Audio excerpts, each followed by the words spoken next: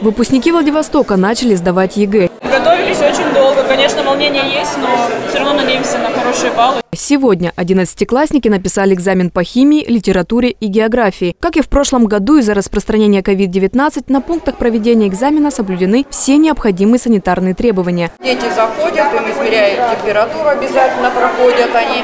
Соответственно, соблюдается э, дистанция, необходимая социальная дистанция, чтобы дети как можно э, меньше контактировать. В каждой аудитории есть антисептики. Работники ППЭ обязательно у нас ходят в масках и перчатках. Следующий экзамен пройдет 3 и 4 июня. Им станет русский язык. Он самый массовый по численности сдающих ЕГЭ. Алина Черненко, Денис Фадеев. Новости на восьмом.